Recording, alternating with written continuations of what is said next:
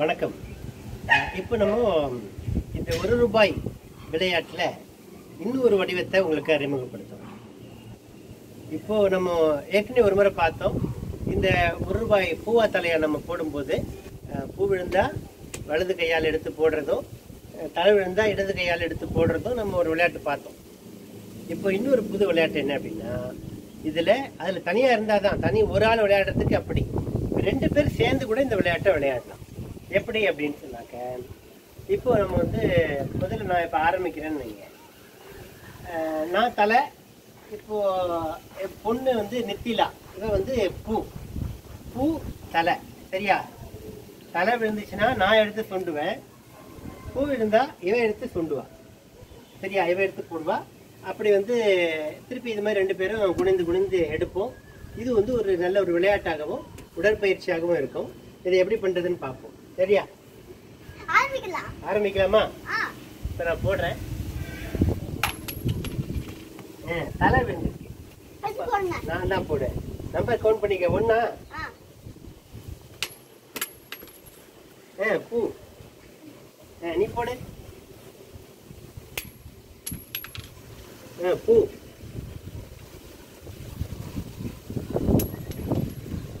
பூ. நாலாச்சா நல்ல லக்கி ஆயிட்டே இருக்கேன் ஆஹா லக்கி லக்கி கேர்ள் ஆஹா அஞ்சு பூ தான். போடு போடு போடு. நான் லக்கி ஆயிட்டே இருக்கேன். ஆ தலை. ஆறு ஆச்சா? ஏய் திருப்பி தலை. ஏழா? எட்டு தலை தான் வந்திருக்கேன் பூ. ஒன்பது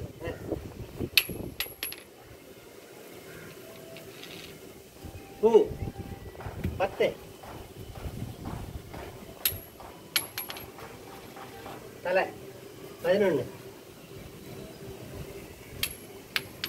ஹெட்ஸ் ஆர் டெயில் ஆ தலை ஹெட்ஸ் ஆர் டெயில் ஹெட் தான் ஆ இப்போ பூ டெய்ல்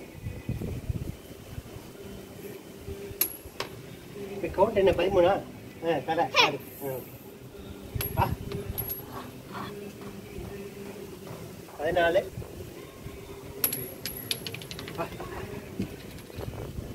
தலை நான் தான் எடுக்கணும் நான் தான் எடுக்கணும். பதினஞ்சாச்சா?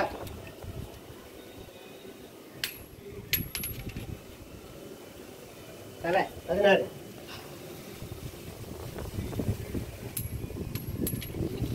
ஆ நீ ஏ பதினேழு இல்ல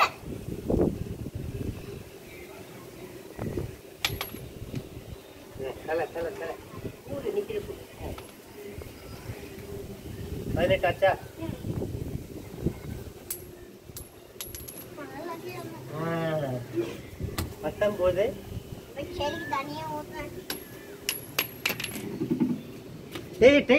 சீக்கிரம் டேய் டேய் டேய் டேய் டேய் டேய் வந்து எங்க தோ தோ. இங்க வா. இருபது. ம் எடு இருபத்தி ஒன்று ஆ. இரு இரு தலை.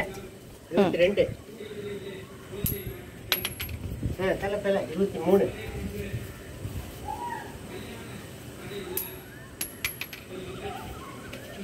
ஆ நீ எடு.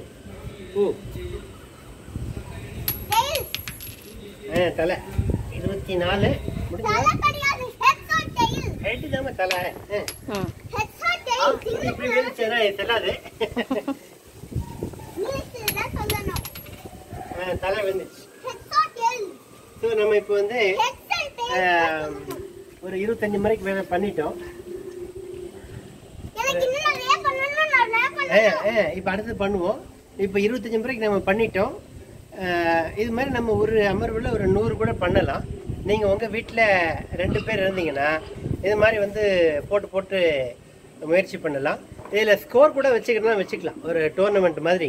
இப்போ ரெண்டு பேருக்கு மேலே இருக்காங்கன்னு வைங்க. ஒரு ரெண்டு பேர் இது மாதிரி போட்டு யாருக்கு அதிகமான இது வருதுன்னு சொல்லிட்டு அப்புறம் அவங்க அப்புறம் இன்னொருத்தர் வந்து அது மாதிரி இப்போ ரெண்டு பேருக்கு சேர்த்து அப்புறம் அதில் செமிஃபைனல் ஃபைனல் அது மாதிரி இறுதி போட்டிலாம் கூட வைக்கிறதுனாலும் வைக்கலாம். இது ஆனால் உடற்பயிற்சிக்கு எல்லாரும் குனிந்து நிமிர்வதற்காகவும் கொஞ்சம் அசைவதற்காகவும் ஒரு விளையாட்டும் உடற்பயிற்சியும் கலந்த மாதிரியான ஒரு புதுமையான உடற்பயிற்சி. நீங்கள் உங்கள் வீட்டில் முயற்சி பண்ணி பாருங்கள் உங்களுக்கு இதனால் ஏதாவது ஒரு பயன் விளைந்திருக்கு அப்படின்னு சொன்னாக்க அதை அந்த கமெண்ட்டில் நீங்கள் எங்களுக்கு சொல்லுங்கள் உங்கள் மறுமொழியை சொல்லுங்கள் உங்களுக்கு நீங்கள் செ- உங்க வீட்டில் இது மாதிரி செய்கிறதையும் இது மாதிரி படம் எடுத்து நீங்கள் வந்து வீடியோவாக எடுத்து போடலாம்.